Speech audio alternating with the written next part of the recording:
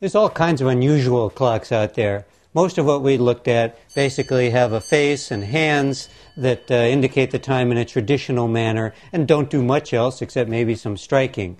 But timepieces were used for many other purposes too, where you wanted to time things in a specific way or have some additional features on a clock that wouldn't be on an ordinary clock.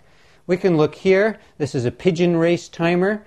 So uh, when you were uh, racing your pigeons, the pigeons would have a band on their leg. When the pigeon returned, the band would be dropped into here. Later on, you could see the band's position and note that the time, note the time that the pigeon returned, and that way you see who won the pigeon race. Chess timers, two clocks here. As you started to make your move, you would press that when it was your turn. When you stopped, you'd press the other side so that uh, each chess player had the same amount of time to play. Here's uh, a, this is actually a Waltham. This is a gaslight clock where this clock would be fixed to the gas fixture of your gas light at home, and the light would shine through the milk glass face to show you the time at night. You can see that glass is cracked, like almost all of them are, from the heat of the gas flame. This is an English reminder clock. Not only does it tell the time, but if you wanted to, let's say, wake up at a certain time, you would, here's our nice label explaining it all.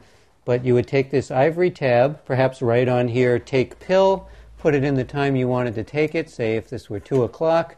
This rotates as the clock runs. At 2 o'clock, our tab drops through, falls into here, lowers this down, and a bell rings, at which time you read it and say, oh yes, take pill, and you're ready to start it again.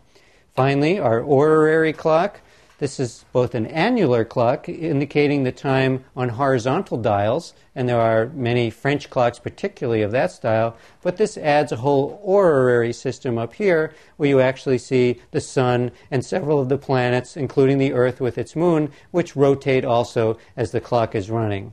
So if you want to do more than just tell the time, or perhaps just tell the time and know the date, uh, there are many versions of timekeepers that are a lot of fun to own and to watch.